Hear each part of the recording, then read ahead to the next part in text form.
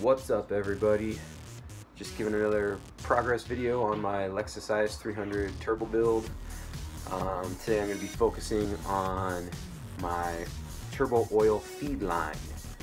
Relatively simple, nothing special about it.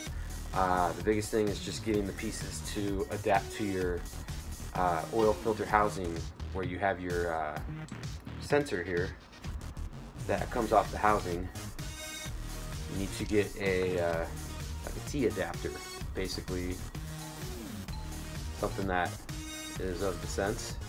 It's going to go in like this, like so. This will screw in this side into the housing, okay? And then I will put my oil feed right here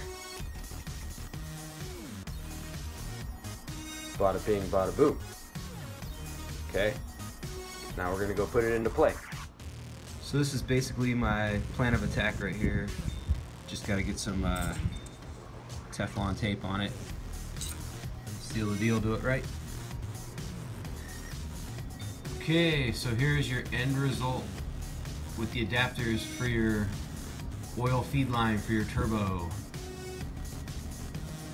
Got my sensor on, Here's my, my T adapter. So I got my oil feed coming right there, going straight back into the housing.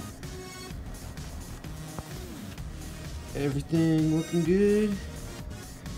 Feeds up here. It's gonna go through the manifold somehow or another. And then down into the turbo.